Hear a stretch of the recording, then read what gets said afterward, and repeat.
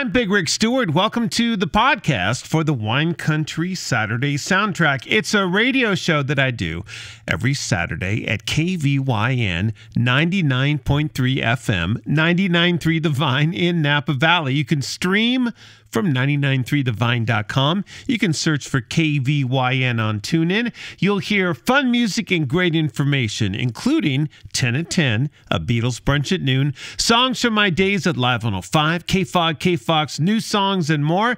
And you'll hear great information like this.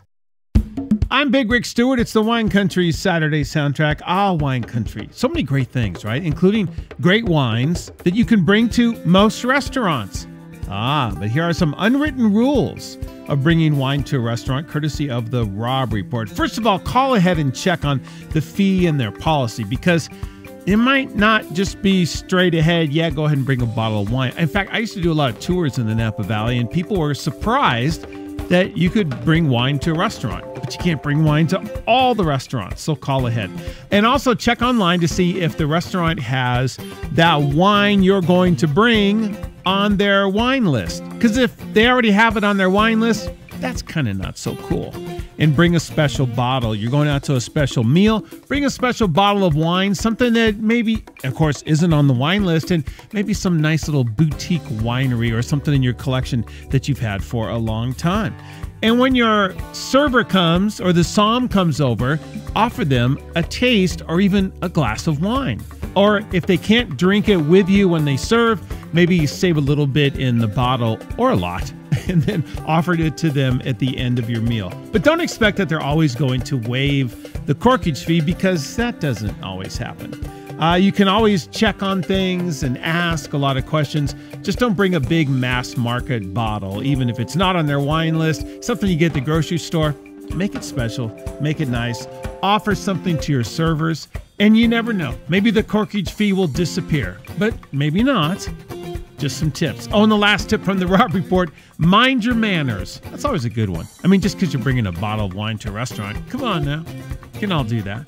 I think it's a good idea as well. You support all the little guys and you give your servers a little taste of something different. Enjoy. I'm Big Rick Stuart. It's the Wine Country Saturday soundtrack at 99.3 The Vine. It's the Wine Country Saturday soundtrack. I'm Big Rick Stuart. This is from the Robb Report, and the headline might be something you can relate to because it might have happened to you, or you might be doing this to other people. I mean, either way, it's just kind of how things are these days. Restaurants are charging hefty fees for late cancellations and no shows. And, you know, of course, they say in this article, they diners aren't happy. What's this all about? Well, here's what happens. I don't know if you know this or not but if you work in hospitality, you do. People will make reservations at like a whole bunch of restaurants in wine country because they're kind of hard to get, right? And then after they've made all these dinner reservations for the same night, they'll ask all the people in their party, like, I don't know, do you want to go here or there? I don't know. So they've got these kind of like reserved tables, and then they pick from what they reserved. They don't always cancel the reservations but they end up going to one of the four places that they made reservations. That's a terrible idea. Uh, definitely, first of all, pick before you make reservations, and then don't do that. You can get charged. Now, this article uh, is based on a story from the New York Times, and they say that, yeah, uh, Resy data, this is a service collected by the New York Times, says 17% of U.S. restaurants on the platform charge at least one cancellation fee as of January. That's up from 13% in 2023 and up from just 4% in 2019. So this is like a thing that's happening. And in big cities, more expensive tables and more, a quarter of New York restaurants, for example, on Resy, uh, have done this. The fees can range from like 10 bucks to over $200, depending on how fancy the thing is. So don't do this you know, cancel in advance if you need to. And they can understand that, you know, things come up at the last minute. Restaurants have to deal with all kinds of things, right? Maybe you didn't know about this one. I'm Big Rick Stuart. It's the Wine Country Saturday soundtrack, 99.3 The Vine. I'm Big Rick Stuart. It's the Wine Country Saturday soundtrack. Part of my Saturday is coffee. I like to have coffee in the morning when I wake up. And then a little bit later in, in the morning, and then around 12 o'clock, and then around 3 o'clock, I too much coffee. Uh, I didn't really know about this one though. Uh, I saw this at uh, a website, Food and Wine. Really good. Always lots of interesting stories. What is a red eye coffee? I didn't know what it was, but it turns out I've actually had red eye coffees more than once. Uh, and they say this drink is one of those cases where the name is more of a warning. And they say this is really good if uh, you need to wake up fast or, you know, reawaken yourself or you're staying up late to study or work or a long drive or whatever. So it turns out that a red eye, if you go to a coffee counter, and, you know, maybe everybody knows this except me, um, a red eye is some espresso in a cup of coffee. Ah, there's like a little double boost, kind of like a one two shot there, right? Now, that's different than Americano. Americano is espresso, but in hot water or cold water, uh, diluted down. So, this is actually coffee with extra coffee, an espresso shot. And, you know, they say that it does add a lot of punch, and so the flavor is pretty strong. Maybe you want to add a little cream or sugar to it. I don't know. You know, it's all your call. But anyway, that is the story of a red eye. And obviously, it has a lot more caffeine than just either an espresso or a cup of coffee. So, uh, you know, be responsible in your red eye coffee drinking. And for that matter, everything else. I'm Big Rick Stuart. See, we learned something today. It's the Wine Country Saturday soundtrack at 99.3 The Vine.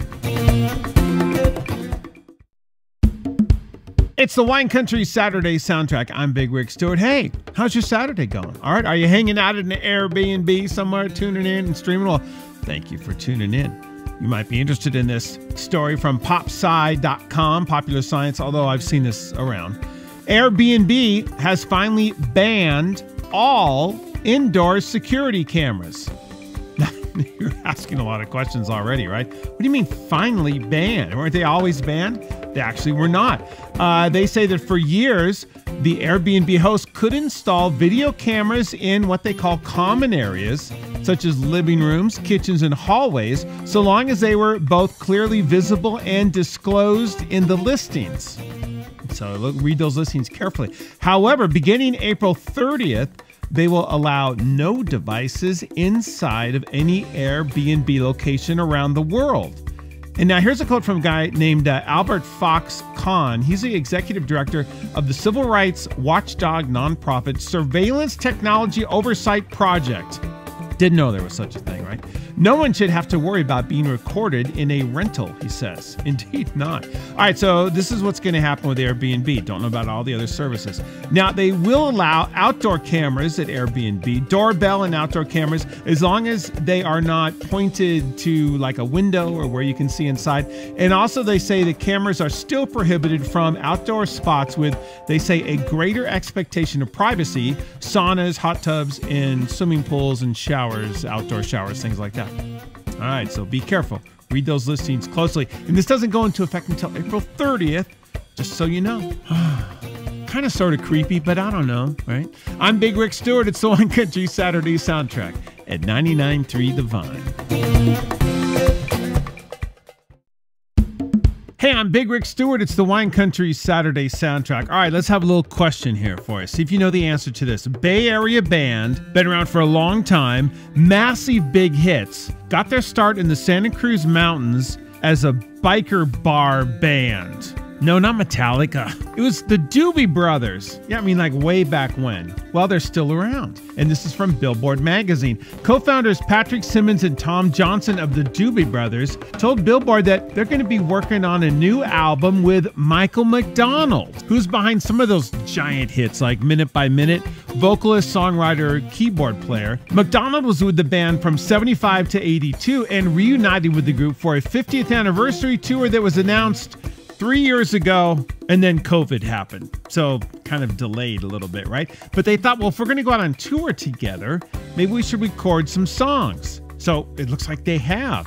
Uh, Pat Simmons said it's all very exciting. At one point, I said, Hey, we're doing all these dates, and uh, I think people get a kick out of recording some new music.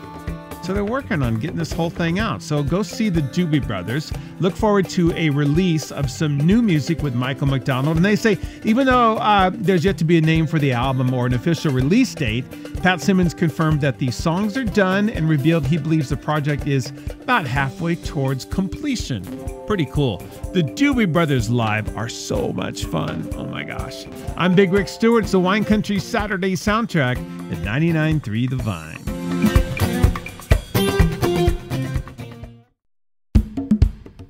Big Rick Stuart. It's the Wine Country Saturday soundtrack. I always wonder what to do with old technology. What do you do with it? Sitting around, your old VHS player. You don't actually have an old VHS player sitting around, do you? I think I might have one somewhere. Uh, all right, so how about your old phones, though? Because phones seem like, you know, it's a pretty good device, and you got a new one, your old phone, whether it's Android or Apple phone, whatever. Well, this is from CNET.com, and they say don't toss your old phone. You can turn it into a home security camera. This sounds pretty interesting, right? It's pretty easy to do, according to CNET, although I haven't done this. Although I'm going to uh, run and look in my drawers because I think I have an old iPhone laying somewhere. I don't have the cable to charge it anymore, but whatever. I'll try to figure this out. First of all, install a security camera app on your old smartphone. Uh, and they have some recommendations. There are a few different apps. They talk about an app called Alfred, which is made exactly for this and you can install it on old phones and old devices and all that stuff. So I guess that's the one to get. But they do offer some other choices and more. Uh, find a good spot for your new smartphone security camera after you've installed Alfred on your old phone and your new phone. And then uh, you are going to be able to get up and running. Uh, you need to set up and position the camera. You might want it focused on the main entry point of your home, maybe a backyard or some valuables. Or you can even use this for, uh, you know, watching on the kids, uh, you know, as they're uh, sleeping in the bedroom or, you know, kind of doing whatever pretty good idea. Uh, mount your camera and make sure to power it up because you got to have it powered because it's going to be on all the time. And you can get little tripods for phones and stuff, and they have little clamps and they're all universal. They're pretty awesome, and you don't have to spend a whole lot of money on those. And see how it goes. The app is called Alfred, and you can turn your old phone into a streaming security camera. You can watch remotely and more. Interesting. I'm Big Rick Stuart. It's the Wine Country Saturday soundtrack at 99.3 The Vine. That's some of the great information you can hear on my Wine Country Saturday soundtrack. I'm Big Rick Stuart. Check out the show every Saturday, 99.3 FM in Napa Valley. You can also listen from 993thevine.com or KVYN on TuneIn. Thanks for checking out the Wine Country Saturday Soundtrack podcast.